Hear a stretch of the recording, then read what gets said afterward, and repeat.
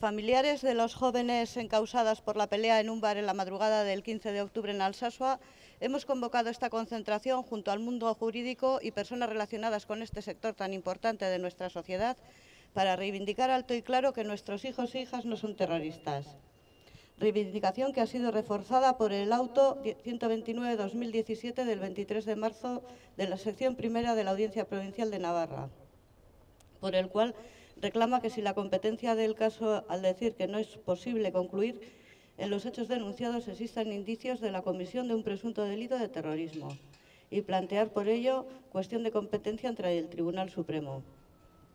Queremos agradecer a las instituciones ejecutivas, legislativas y judiciales navarras su posicionamiento sobre nuestro caso, a los 89 diputados y senadores y a los casi 200 juristas y profesores que firmaron el manifiesto Solidaridad con Alchazu. Y así haciendo nuestras algunas de sus declaraciones queremos denunciar públicamente la inapropiada y desmesurada calificación jurídica de los hechos como terrorismo, o tal y como lo calificaron el magistrado de mérito del Tribunal Supremo Martín Payín y el antiguo juez de la Audiencia Nacional Baltasar Gazón, como sobreactuación judicial y fuera de la realidad social. Que a día de hoy la Audiencia Nacional siga haciendo caso omiso al requerimiento de la Audiencia de Navarra y continúe con la tramitación del caso. Nos parece una falta de respeto a dicha institución.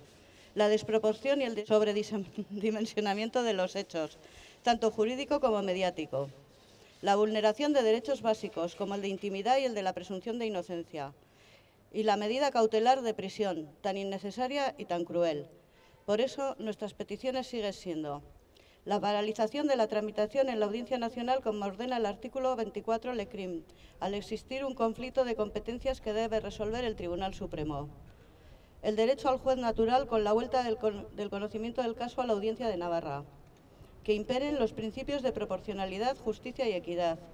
Y la libertad de Adur, Joaquín y Ollán, que llevan más de seis meses encarcelados a casi 400 kilómetros de casa y en régimen FIES. Antes de terminar, os animamos a que visitéis nuestra página web alchasugurasoac.com, donde podéis informaros con más detalle y adheriros con vuestra firma al manifiesto. Queremos manifestar nuestro agradecimiento a este sector y a los otros que veces anteriores nos acompañaron movimientos sindicales, feministas y LGTB, jubiladas y pensionistas, sector de la educación, así como a los medios de comunicación presentes. Recordar que la próxima concentración la llevaremos a cabo junto con el mundo de la información dentro de 15 días. Estáis invitados. Gracias a todos, Mila Esker. No es terrorismo. Adur, Jokin eta Oian, etxera. Altxasukoak, azte.